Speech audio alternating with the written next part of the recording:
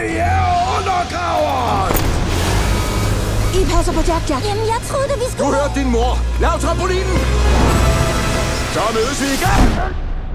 Superhelte er ulovlige. Vi skal bekæmpe forbrydere!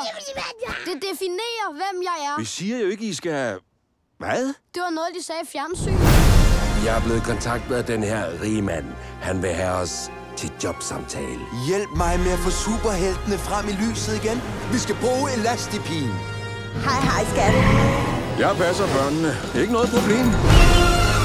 Ej, det er altså ikke den måde, man skal gøre det på, far. De siger, vi skal gøre det sådan her. Jeg kender ikke den måde. Hvorfor laver de om på matematik? Matematik jamen, så er okay, matematik! De syv sover, vi sover, syv sover snart. Deres øjne bliver tunge, de ligger så... Så godt!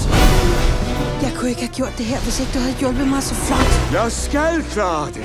Så hun kan klare det. Se, det er elastepil! Så vi kan klare det. Jeg er med, Bob. Hvad i al... Det er skræmmende. Men jeg kan ikke blive ved med at give ham cookies! Wow! Han går amok! Så ikke blive far. Hvad? Udført ordentligt er forældrerollen heroisk. Udført ordentligt.